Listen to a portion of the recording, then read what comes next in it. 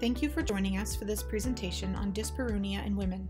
This material was initially Dyspareunia, or pain with intercourse, may be one of the most common complaints in the gut. Dyspareunia usually is a symptom of persistent vulvar pain or vulvodynia.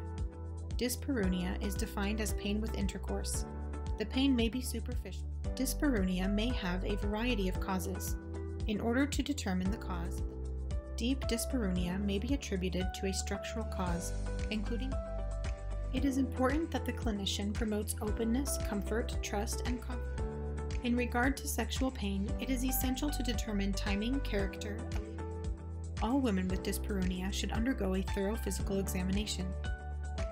Superficial dyspareunia is often a symptom of provoked vestibulodynia.